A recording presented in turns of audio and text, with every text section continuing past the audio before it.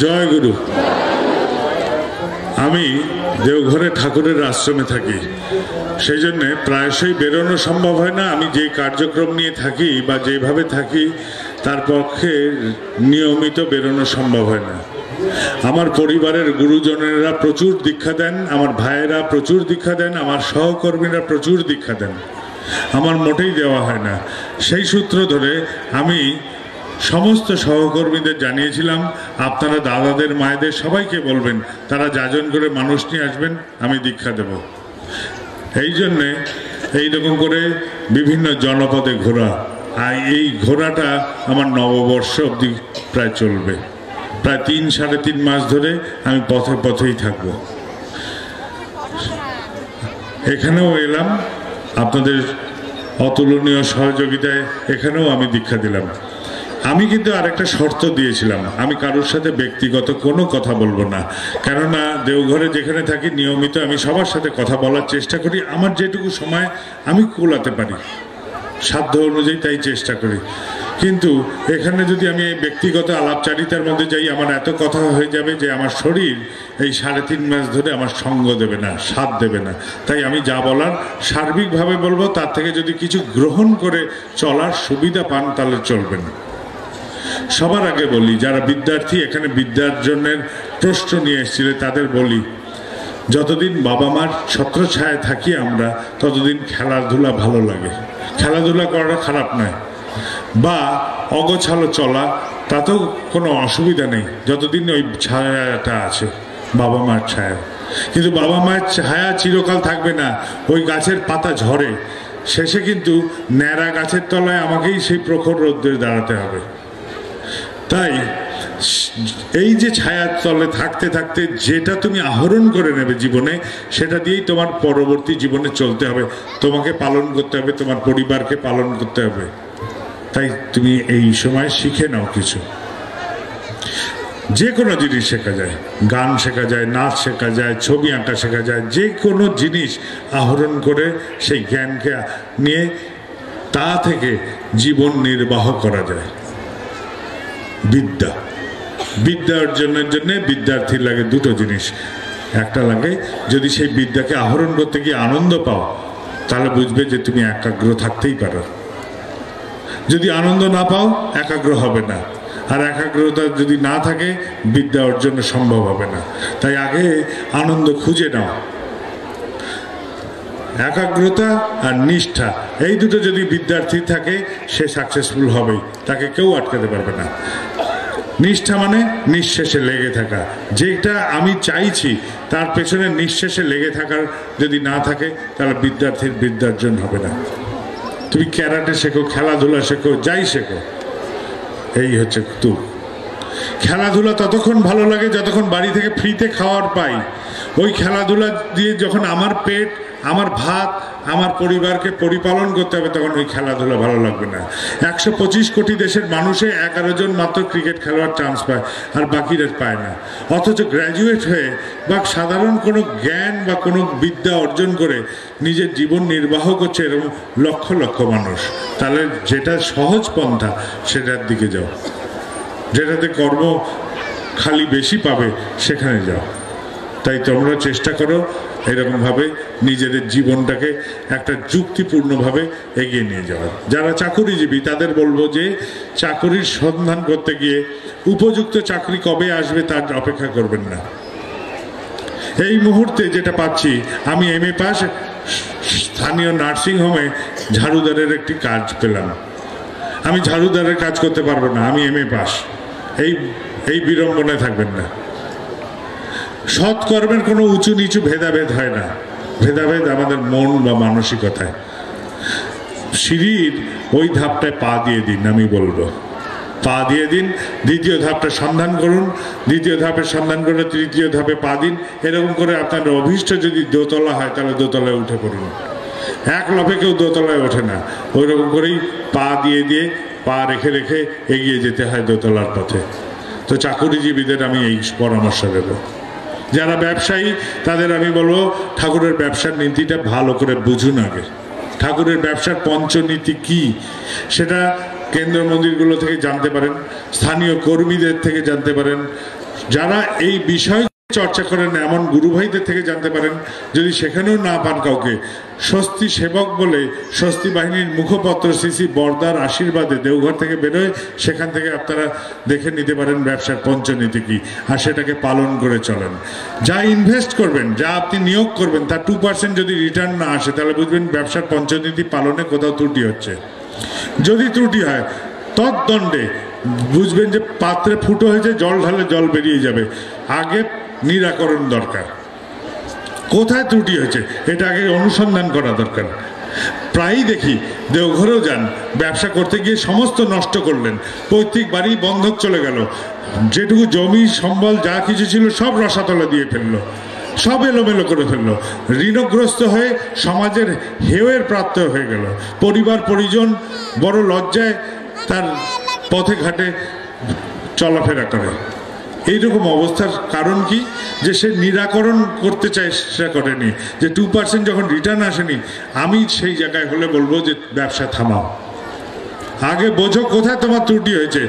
সেই ত্রুটিটাকে অনুসন্ধান করে সেটাকে আগে ঠিক করো। সেটাকে আগে মেরামত করো। যদি সেই কদিন দরকার হয়, কারোর আন্ডারে চাকরি করে নাও। অন্য কোনো কার্যক্রম করো। কিন্তু অযথা টাকা ঢেলে ওই জলের স্রোত ফুটো দিয়ে যাতে বেরিয়ে যায়, ওরকম ব্যবস্থা করো না। যারা পিতা মাতারা এসেছিলেন সন্তানের বিবাহের প্রশ্ন নিয়ে, তাদের বলি, মেয়েকে বলেন সিঙ্গার শিখতে। সিঙ্গার মানে শুধু সাজসজ্জা নয়। চলা, ফেরা, আদব, কায়দা, নিজেকে উপস্থাপনা করা, পরিস্থিতির সাথে। এই যে এই প্রক্রিয়াগুলো মেয়েদের শেখানো। ছেলেদের শেখান, তুমি কর্মে যুক্ত হও। কর্ম দিয়েই তোমার পরিচয়। ছেলেদের আর অন্য কোনো পরিচয় নেই। তুমি কি, কীরকম মানুষ? তোমার কর্ম দিয়েই তোমার পরিচয়। আর তারপরে আত্মীয় স্বজন, হিতৈষীজন, স্বজাতির মানুষ, তাদের সবাইকে বলবেন, ঠিক উপযুক্ত বৈবাহিক সম্পর্ক এসে যাবে, সম্বন্ধ এসে যাবে, উতলা হতে হবে না। যারা অসুস্থ, তাদের বলি, আগেই বড় বড় কিছু চিন্তা না করে, ছোট থেকে চিন্তা করেন সৎ, দক্ষ শুভানুদ্দায়ী চিকিৎসকের সন্ধান করেন। তারা কি বলছেন আগে বোঝার চেষ্টা করুন। ম্যাড্রাস যেতে হবে, দিল্লি যেতে হবে, কলকাতায় ওইখানে ওই বড় ডাক্তার আছেন, ওখানে যেতে হবে। এইসব আগ্রহ বাগ্রম আগেই যাবেন না। একটি সাধারণ গল্প বলি। আমার ছোট ভাই আছে বিঙ্কি তার দপ্তরে কাজ করে একটি ছেলে সহযোগিতা করে। তার পুত্রের এমন এক রোগ হলো বাচ্চা ছেলে, সাত আট বছরের, সে পড়ে পড়ে যায়। সে উঠতে পারছে না, দাঁড়াতে পারছে না। জল জ্যান্ত সাত আট বছরের ছেলে এরকম হয়েছে। তো আমাকে যেই বলল, আমি ওইখানেই ওই দপ্তরে একটি ছেলেকে বললাম দেখতো দেখি, ইন্টারনেট খোল, খুলে দেখতো ও যা যা বলছে সেগুলো টেপ। এই রোগের কি বিষয় বলছে বলতো? যে রোগটা নির্ণীত হলো কম্পিউটার থেকে, নেট থেকে যেটা বেরোলো, সেই রোগের চিকিৎসা অ্যালোপ্যাথি মতে নেই। তাহলে শুধু শুধু চিকিৎসা হচ্ছিল অ্যালোপ্যাথি মতে অ্যালোপ্যাথিতে ওর কোনো চিকিৎসা নেই। আমার এক অত্যন্ত শহীদ শিক্ষক মশাই, আয়ুর্বেদিক কলেজের ভুবনেশ্বরে থাকে। আমি তাকে খবর পাঠালাম। জিজ্ঞেস করলাম, আয়ুর্বেদিক মতে এর কোনো চিকিৎসা আছে? উনি সাথে সাথে আমাকে উপচার জানিয়ে পাঠালেন। দেওঘরের ওষুধ দেওঘর থেকে ওষুধ জোগাড় হয়ে গেল, বাজার থেকে সাধারণ কিছু ওষুধ, আয়ুর্বেদিক ওষুধ। সেই খেয়ে সেই যে দপ্তরে কাজ করে ছেলেটি, তার পুত্র যে ওই কদিন একদম শয্যাশায়ী ছিল, সে খেলে খেলে বেড়াতে শুরু করল। রোগ নির্ণয় আমি করলাম না, রোগ নির্ণয় যন্ত্র করল। আপনাদের পরিবারেও যেসব বাচ্চা কাচ্চা ছেলেরা আছে, এগুলো খুব ঘাটতে পারে। তাদের থেকে বলেন তো, আমার এরকম হচ্ছে দেখতো কি রোগ হয়েছে, আর এর কী চিকিৎসা। তারপরে ডাক্তারের কাছে যান। ডাক্তারবাবুর সহযোগিতা নেন। দেখবেন যে রোগ এমনি আধা আপনার আয়ত্তে এসে যাবে। আর কি করবেন? আনন্দে থাকবেন। ছোটবেলায় বলতো, ভূতের ভয় পেলে রাম রাম রাম রাম বল। তো আমি বলব, আনন্দে আনন্দে থাকেন। যেখানে হতাশা, যেখানে দুঃখ, যেখানে গ্লানি, সেখানে রোগ এসে আগে বাসা বাঁধে। আর যেখানে আনন্দ, সেখান থেকে রোগ আগে দৌড়ে পালায়। এটাকে আগে বোঝেন। এটা হচ্ছে প্রথম কথা। আনন্দে থাকা। আনন্দে থাকতে গেলে তো একটা প্রক্রিয়াকে অনুসন্ধান করতে হবে। আমি দুধ দিলাম, বললাম যে এটা থেকে ছানা বানাও তো দেখি। আমি দুধ দিলাম, বললাম যে এটা থেকে ঘি বানাও তো দেখি। আপনি দুধ ধরে যদি বসে থাকেন, সেটা ছানাও হবে না, ঘিও হবে না।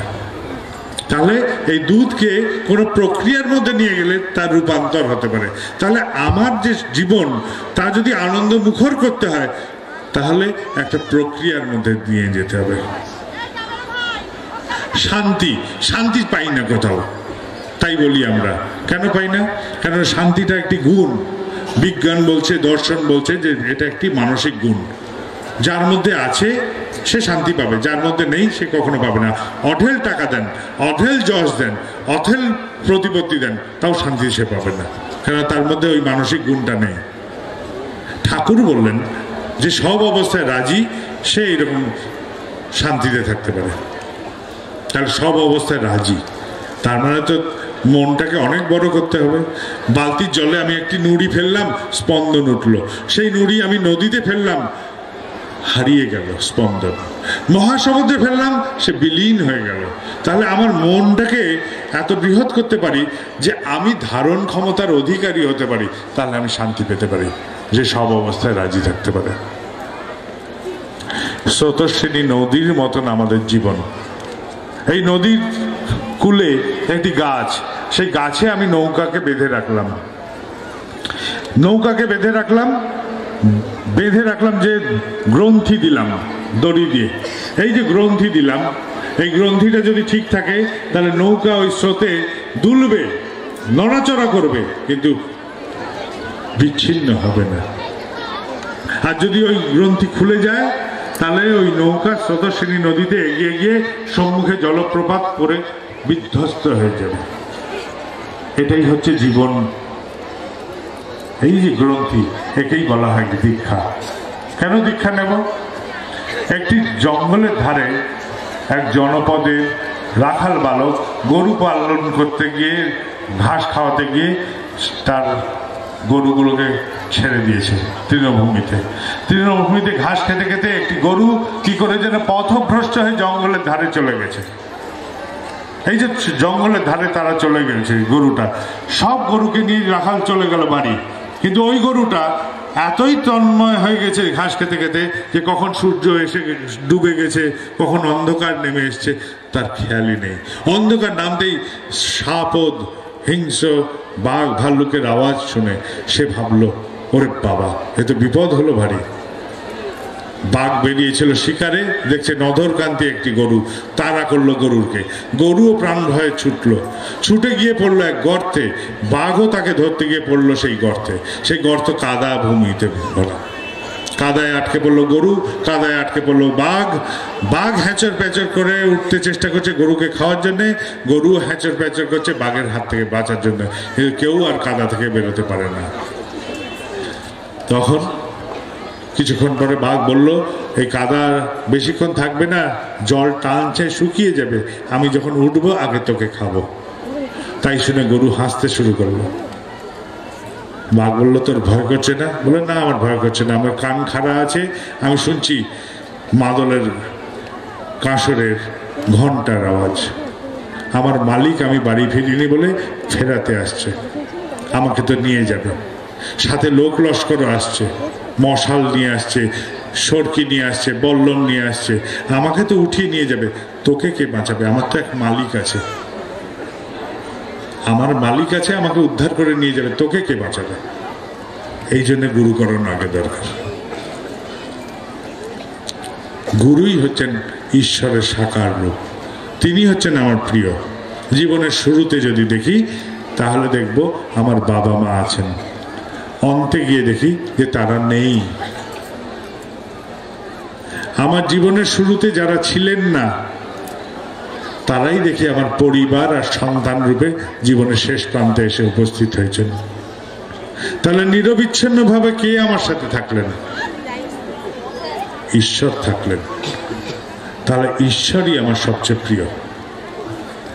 মানুষকে যখন ঈশ্বর পাঠান পৃথিবীতে, তিনি বললেন, তুই যেখানে যাবি, সেখানেই আমি তোর সাথে থাকব। মরু প্রান্তরে মানুষ এসে পথ হারিয়েছে, ক্লান্ত। সে ভাবলো, কি করি? আর কোনো উপায় নেই, ঈশ্বরকে ডাকছে, ঈশ্বর আসেন না। তখন সে হাঁটা শুরু করল। হাঁটতে হাঁটতে হাঁটতে হাঁটতে এক মরুদ্যানে এসে পৌঁছালো। সেখানে দেখছে জল আছে, গাছে খেজুর আছে, জল খেলো, খেজুর খেলো, গায়ে বল এলো, তৃষ্ণা নিবারণ হলো। সুশীতল ছায়া বসে তখন সে বলছে, ঈশ্বরকে ঈশ্বর, তুমি তো পাঠিয়েছিলে আমাকে। বলেছিলে তুমি আমার সমস্ত কঠিন অবস্থায় থাকবে। আজ যখন আমি এইরকম কঠিন পরিস্থিতিতে পড়লাম, তখন তো তোমার পায়ের ছাপ দেখলাম না। দেখলাম যে বালিতে একটি মাত্র পায়ের, এক জোড়া পায়ের ছাপ। ঈশ্বর তখন বললেন, ওরে বোকা, ওই যে এক জোড়া পায়ের ছাপ দেখলি, ওটা তো আমি তোকে তখন বহন করছিলাম। আমি তোকে বহন করছিলাম। তাহলে তিনিই আমার প্রিয়। তিনি আমার একমাত্র তিনি আমার আরাধ্য। আর তারই সাকার রূপ গুরু। আমাদের সবার পরিবার আছে। আমাদের পরিবার, পরিজন নিয়েই আমরা চলি। আমরা অনেক সময় ধরে নিই যে দীক্ষা নিলাম, কিছুই তো হলো না। আমি একটি পাখা ধরিয়ে দিলাম হাতে। এরকম করে বসে থাকলাম। হাওয়া তো লাগছে না মোটেই। যখন হাত নাড়ালাম, তখন হাওয়া লাগতে শুরু করল। তাহলে দীক্ষা নিয়ে বসে থাকলে হবে না, কিছু কর্ম করতে হবে। দীক্ষানুচলন যাকে বলে। এই কর্ম যদি করি, তখন তার থেকে কিছু আমি অনুভূতির মধ্যে ঢুকব। দীক্ষার অনুভূতিগুলো যদি পেতে হয়, তাহলে এরকম কর্মের সাথে যুক্ত হতে হবে। কর্ম ছাড়া দীক্ষা কোনো কার্যক্রমে লাগবে না। তারপরে আমাদের প্রায়শই প্রার্থনা হয়। বলি, ঠাকুর, এটা করে দাও। কোনো দেবালয়ে গেলাম, বললাম, এটা হয়ে যাক। কোনো মোট মন্দির যেখানে যাই, সেখানে গিয়ে বলি, ভগবান আমার এইগুলো যেন পূরণ হয়ে যায়। ভগবানকে আমার পিয়ে বানিয়ে রেখেছি। আমি লিস্ট ধরাবো, তিনি লিখে নেবেন আর পূরণ করবেন। তা মোটেই নয়, কখনো তিনি করবেন না। একদম সার্থকভাবে জেনে রাখেন, এরকম তিনি করতে বাধ্য নন। একটা কল্পতরুর তলায় একটি পথিক এসে বিশ্রাম নিচ্ছিল। সে ভাবলো, এই গাছের সুশীতল ছায়া কত না আরামদায়ক। যদি এখানে একটু খাওয়ার পেতাম, কল্পতরু বিখ্যাত, সাথে সাথে খাওয়ার এসে গেল। তারপরে ভাবলো, তৃষ্ণাও পেয়েছে, একটু জল হলে ভালো হতো। জলও এসে গেল। সে ভাবলো, একটা উপযুক্ত শয্যা হলে আরাম হতো। শয্যাও এসে গেল। তারপর ভাবলো, একটা বালিশ আর চাদর হলে ঘুমটা নিশ্চিত আসতো। বালিশ আর চাদরও এসে গেল। এইবার যখন আরামে বসেছে, সে তখন ভাবছে, এই গাছে ভূত নেই তো? যা ভাবছি তাই তো হয়ে যাচ্ছে। এসে আবার আমার ঘাটটার মটকাবে না তো? যেই না ভাবা, কল্পতরু তো। সেই গাছ থেকে ভূত সত্যি এসে তার ঘাড় মুটকে দিল আমার কথা শুনে ঈশ্বর যদি চলেন, তাহলে আমার পরিণতি এরকম হবে। তাই তিনি এটা শুনবেন না। আমি যা প্রার্থনা করি, আমার বাবা, মা, ভাই, বোন, জগাই মাথাইদের জন্য, তাকে বলে নিষ্কাম সকাম প্রার্থনা। আমার বাবা ভালো থাকুন, আমার মা ভালো থাকুন, আমার বউ ভালো থাকুক, আমার ছেলের চাকরি হোক, মেয়ের বিয়ে হোক, এই যে প্রার্থনাগুলো করি, একে বলে সকাম প্রার্থনা। আর আমার অন্যের জন্য যখন চাই, যার সাথে আমার রক্ত সম্পর্ক নেই, স্বার্থ সম্পর্ক নেই, তাদের জন্য যখন আমি প্রার্থনা জানাই, তাকে বলা হয় নিষ্কাম প্রার্থনা। ওই দাদাটির ভাই ভালো হোক, ওই মাটির ভালো হোক, ওই ভাইটির ভালো হোক, ওই বোনটির ভালো হোক, এই যে আমি প্রার্থনা জানাচ্ছি, এটাকে বলে নিষ্কাম প্রার্থনা। ঈশ্বর সবসময় এই নিষ্কাম প্রার্থনা গ্রহণ করবেন, ওই সকাম প্রার্থনা নয়। এটাই তিনি করবেন। এটাই তিনি করতে পারেন। তাহলে নিষ্কাম প্রার্থনা জানানোর জন্য আমার পরিবারের বাইরে এমন কাউকে দরকার যে আমার হয়ে প্রার্থনা করতে পারে? যুক্তি তো তাই বলছে যে আমার বাইরে, পরিবারের বাইরে কাউকে লোক দরকার যে আমার পরিবারের জন্য, আমার আমার জন্য প্রার্থনা জানাতে পারে। তাহলে তাদের সাথে সম্পর্ক রাখতে হবে। কি করে সম্পর্ক রাখি? আমার কাছে কোনো প্রিয় বস্তু যদি থাকে, তবে তাকে দিলে সেই সম্পর্ক অমলিন থাকবে। আমার কাছে প্রিয় কি? ঈশ্বর আমার কাছে প্রিয়। আগেই বলেছি, তিনি প্রথম থেকে শেষ অবধি থাকেন। তার সাকার রূপকে আমার গুরু। তিনি হচ্ছেন আমার জীবনের স্বামী। তিনি হচ্ছেন আমার জীবনের সবচেয়ে প্রিয়তম বস্তু। তাই জীবে করে প্রিয় বিতরণ সেই জন সে হচ্ছে ঈশ্বর। জীবে আমার প্রিয়কে বিতরণ করতে হবে। আমি বসে থাকি যদি, ওই পাখা ধরে বসে থাকা হবে। নিরন্তর তার কথা বলতে হবে। পথে, ঘাটে, রাস্তায়, যেখানে পাই। আমার পাওনাদারকে দেখে আমার ভয় পাওয়ার দরকার নেই। সামনে দাঁড়িয়ে যেন ঠাকুরের কথাটা বলতে পারি। আমার আত্মীয় স্বজন, দোকানদার, সবজি বিক্রেতা, রিক্সাতে যে চললাম, বা টোটো গাড়ি এখন বেরিয়েছে, টোটো গাড়িতে। যেখানে চড়ি তাদের সাথে আলাপচারিতা করতে থাকেন। কথা বেরোতে থাকুক ঠাকুরের কথা। কথা কি কিসে বেরোয়? ভাষা থেকে। ভাষা কোথা থেকে আসে? ভাব থেকে। আমার ভাব তখন তোমার মতন হতে থাকবে। এই ভাবগুলো তোমার মতন হতে থাকবে ক্রমশ। আর আমি তখন তোমার কথাই প্রকাশ করতে থাকব। এই এই প্রকাশ হতে হতে একদিন এরকম অবস্থা হবে। যে মানুষ যখন জিজ্ঞেস করবে, তোমার ঠাকুর কেমন? বলল যে, আমাকে দেখে বোঝো আমার ঠাকুর কেমন। আমি কেন বলতে যাব, আমার ঠাকুর কেমন? আমাকে দেখে বোঝো আমার ঠাকুর কেমন। আমার চলা দেখে বোঝো, আমার কথা বলা দেখে বোঝো, আমার ভঙ্গি দেখে বোঝো। আমাকে দেখে অনুভব করো আমার ঠাকুর কেমন। তবে সার্থকতা। এটাই হচ্ছে কায়দা। আগে নিজের প্রিয়কে নিজের আওতায় নিয়ে এসে প্রকাশ করেন অন্যায্য আচরণ পেলাম, অন্যায্য আমি করে দিতে পারি। খারাপ কথা শুনলাম, খারাপ কথা বলে দিতে পারি। কিন্তু অন্যায্য আচরণ পেলে আমার ঠাকুর এই জায়গাটা কি করতেন? সেটা বোঝেন আগে সেই আচরণটা করার চেষ্টা করেন। সহজ হবে না, বুদ্ধি খাটাতে হবে। ভাই, অনেক হয়ে গেছে। অনেক অনেকভাবে করতে পারি। যে, যেই মুহূর্তে আমাকে করতে থাকবে, অন্যায্য আচরণ করবে, আমি অন্যায্য করব, এটাই স্বাভাবিক। কেননা এটাই শিখে এসেছি ছোটবেলা থেকে। ইটের বদলে পাটকেল মার, এটাই শিখে এসেছি, তাই যাই। কিন্তু ঠাকুরকে যখন ধরেছি, তখন আমার আচরণ আমার ঠাকুরের মতন করতে হবে। বুদ্ধি করে। এখন অনেক যে আচরণ পেলাম, আমার ঠাকুর এই আচরণ পেলে কি করতেন? তাই আমি করব। আমি ঠাকুরকে প্রকাশ করব। তুমি করতে পারোনি, তোমার খাকতি কিন্তু আমি তো করতে পারি। মূর্খতা তাই, ওই ফটোর মধ্যে ঠাকুর আছেন, ওই সিংহাসনে ঠাকুর আছেন, ওই বাড়িতে ঠাকুর আছেন, ওই দেবালয়ে ঠাকুর আছেন, ওই মানুষের মধ্যে ঠাকুর আছেন। এইটাকে খুঁজে যে দেখে, সে হচ্ছে অজ্ঞানী। আর জ্ঞানী সেই যে বলে, আমার মধ্যে ঠাকুর আছেন। এটাই হচ্ছে জ্ঞানের কথা। আমার মধ্যে ঠাকুর আছেন। মন্থন করলে যেরকম ননির উত্থান হয়, সেরকম আমিও জাগিয়ে তুলবো তোমাকে।